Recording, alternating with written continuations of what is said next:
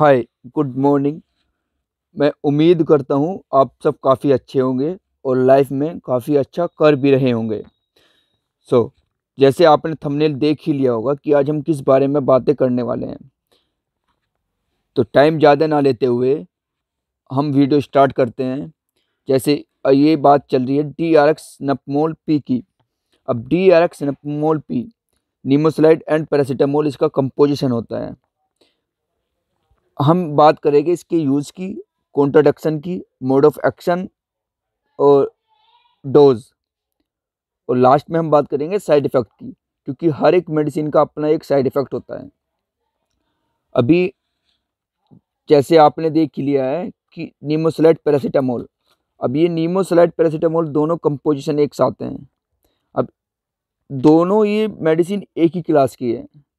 तो मैं क्लास के लिए आपको बता दूँ कि हर एक ड्रग का अपना एक क्लासिफिकेशन होता है और उस क्लासिफिकेशन के अंदर वो मेडिसिन आती है।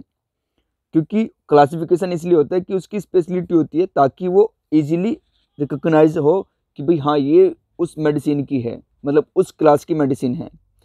तो जैसे हमने बात की नीमोपैरा इसको इन शॉर्ट में नीमोपैरा भी बोलते हैं और इसका ब्रांड नेम है D R X napmol P अब नीमोपेरा किस क्लास की ड्रग है? तो पहला क्वेश्चन यही हो जाता है।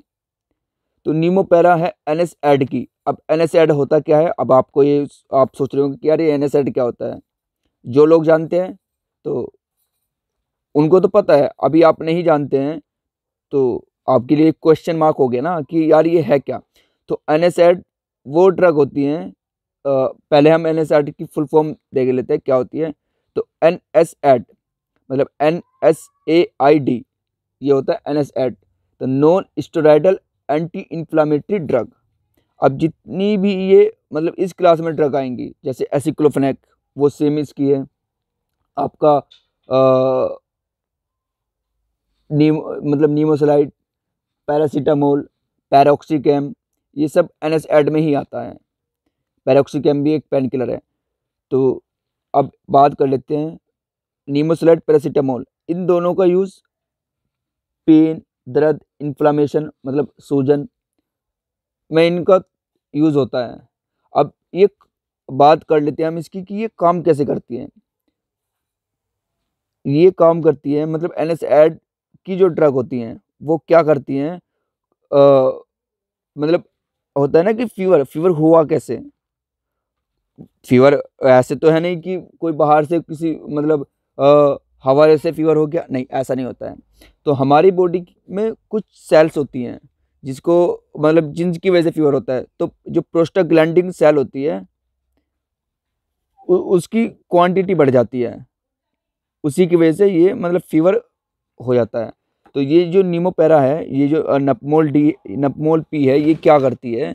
ये इसको ही इनिबिट कर लेती है।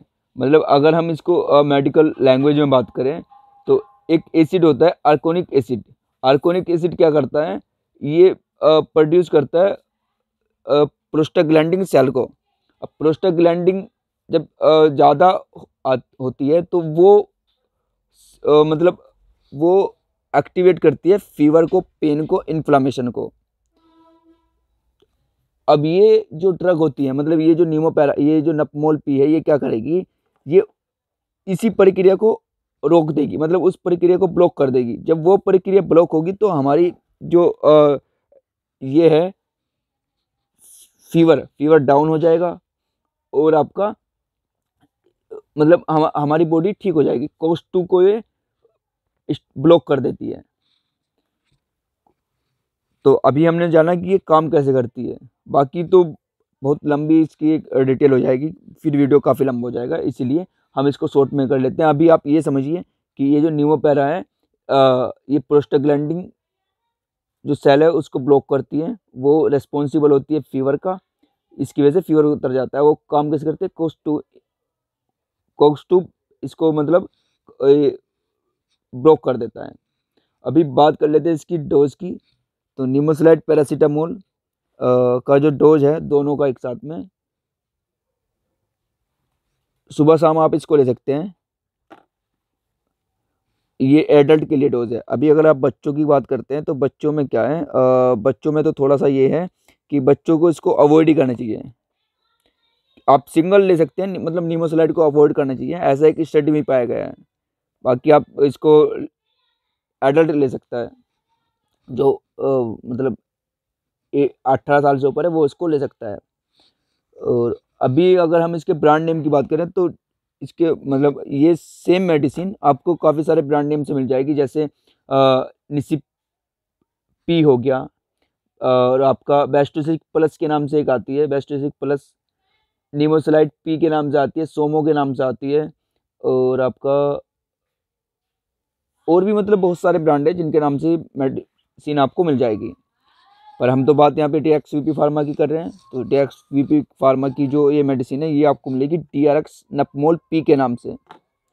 अभी हम बात कर लेते हैं इसके कॉन्ट्रोडक्शन तो मतलब किन किन चीज़ों से द, जब भी इस दवाई को ले इन चीज़ों से आपको बचना चाहिए या इन चीज़ों के साथ आपको बिल्कुल ही नहीं लेना चाहिए। तो कॉन्ट्रोडक्शन कि हम क्योंकि ऊपर हमने यूज़ पढ़ा इसका क्लास पढ़ी। अभी हम बात करते हैं इसके कॉन्ट्रोडक्शन की। एल्कोहल के साथ इसको फोड़ के भी मत लें। और जो हार्ट का पेशेंट है उसको तो इससे बचना चाहिए। किडनी पेशेंट को भी नहीं लेना चाहिए इसको। जो लेडी बच्चों को दूध पिलाती है उसको नीमोपेरा नहीं लेना चाहिए। प्रेगनेंसी लेडी को तो टोटली इसको अवॉइड करना चाहिए। प्रेगनेंसी लेडी को हमेशा पैरासीटामोल ही दी जाती है। आप कभी भी आ, आप भले ही आप मतलब अभी फ़र्स्ट स्टेज में हैं या आप मतलब काफ़ी एक्सपीरियंस होल्डर हैं तो आप ये जानते हैं कि पैरासीटामोल नहीं देते हैं।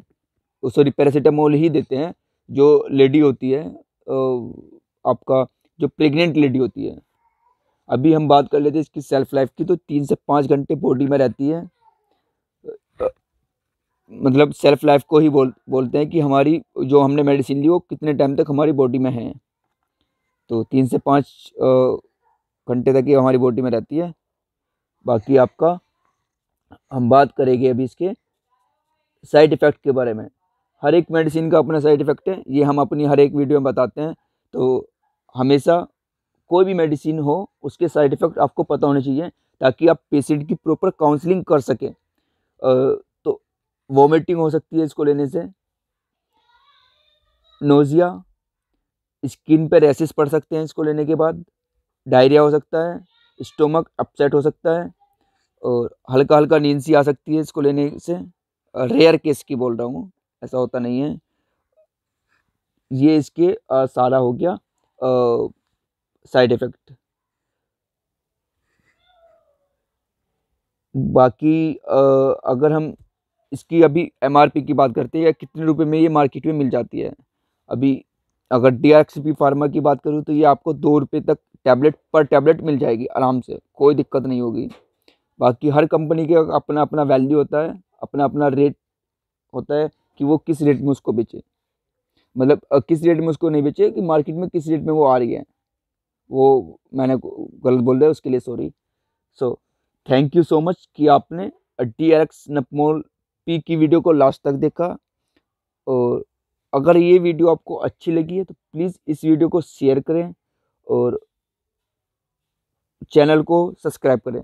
Thank you so much.